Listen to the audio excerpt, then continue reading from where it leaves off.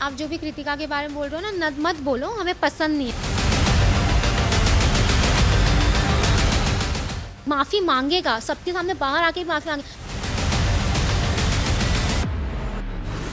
तो रील्स आ रही थी ना मतलब ये सब रो रही थी, पायल एंड ऑल वो सब भी सबने बताया, वरना मैं तो खोलना भी नहीं चाहती पेज।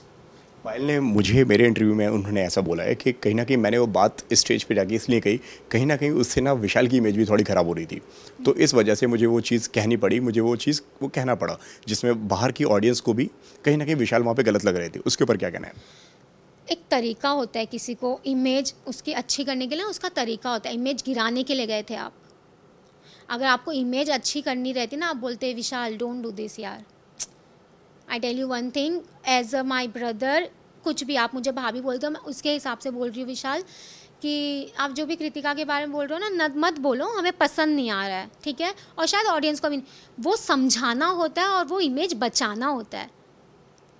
वो होता है कि आप स्टेज पे आके एक बच एक लड़के को आई विल नॉट से बच्चा अगेन एंड अगेन क्योंकि फिर ये भी होगा कि बच्चा है तो क्यों गया बिग बॉस में? आई नो एवरीथिंग कि मुद्दा किस पे क्या बना देंगे आई स्वेयर मुझे पता है किस पे क्या मुद्दा बना देंगे। अगर आपको इतना ही इमेज का उसका बचाने के लिए आप गई थी तो आपने क्यों उस पर एलिगेशन लगाया जाके? बचाना क्या होता है? मैं आपको बोलूँगी, विशाल, ऐसा क्यों बोला? मुझे नहीं पसंद आया, ना ऑडियंस को पसंद आ रहा फैमिली की तो विशाल उस पर रिवर्ट करता कि, भाभी, ऐसा नहीं है। आप जाके सीधा, आप बताओगे कि मैं बताऊँ? ये एलिगेशन है। दिस इज़ क्लियरली एलिगेशन कि आप एक लड़के को जाके एकदम सीधा सीधा क्वेश्चन कर रहे हो। बुरी नज़र है, ये है, अरमान जी, आपको पता है? ये ये एलिगेशन नहीं है। आप समझा रहे हो? यार, फिर तो मैं भी बहुत चीज़ टर्न कर सकती हूँ। मेरे भाई के लिए दो क्लिप्स में बोल रहे हो ना, जो सब लोग तो मैं भी बहुत अच्छे से टर्न करके हर मीडिया पे बता देती हूँ ना।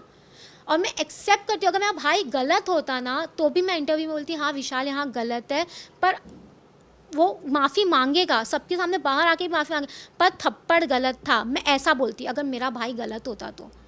मैं ये नहीं बोलती कि नहीं, कुछ भी होता, नहीं, मेरा भाई गलत, मैं नहीं, मैं एक्सेप्ट करती। आज भी मैं बोल रही हूँ, अगर मेरा भाई कुछ गलत करता ना, मैं एक्सेप्ट करती हूँ मैं बोलती, मेरा भाई माफ़ी मांगेगा। और जिस हिसाब से वो यहाँ पे नहीं है, मैं उसके लिए लड़ रही हूँ तो मैं माफ़ी मांगती।